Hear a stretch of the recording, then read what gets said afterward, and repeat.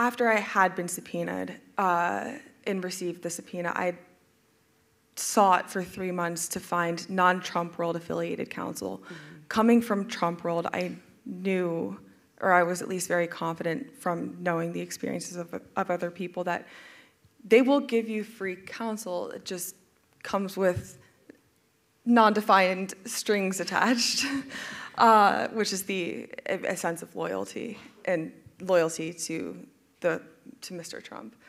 Um, you know, I didn't have, I didn't come from family wealth, uh, which is not a disadvantage at all. You know, I, but I, again, I, I sought to find non Trump world affiliated counsel. I didn't have luck. I went through two deposition sessions with Trump world affiliated counsel where I didn't feel empowered to tell the whole truth and to tell everything that I knew and to be completely forthcoming. There were pages of my deposition transcripts that were published, and I remember. It was in early April, and I remember reading through them. Uh, and it was just this really difficult, uh, probably one of the darkest moments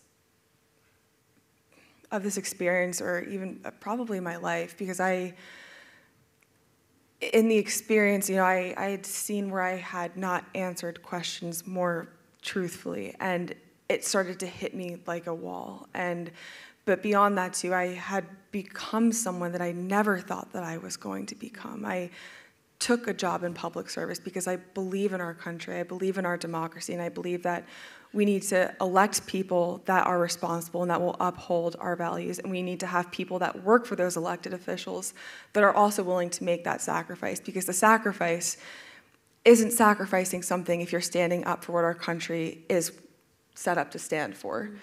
Mm-hmm. Um, so I, I not really knowing what to do, I reached out to you, Alyssa, and you were, you know, I, I try not to get emotional, but I, uh, you, I, I reached out to you, and I, in my mind at least, you had no reason to open your door to me or to respond to me. You, we had been in somewhat different worlds. I had done wrong, and Alyssa had done right for so long. And I didn't feel that I was deserving of her support. But immediately after I reached out, she texted back. I went to her house one night and she just opened the door. and for me, like looking back, it's almost a cinematic moment of it was my first step back to the right side of history. And.